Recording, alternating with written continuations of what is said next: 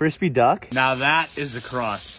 Cross hatching the skin. That way we can get an awesome sear. That's you.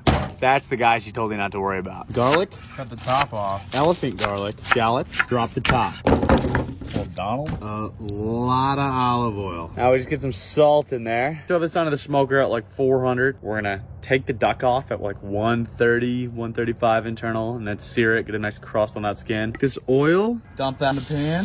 Bunch of salt on that skin. Put it in for a nice quick sear. See how that crust is? Oh my lord.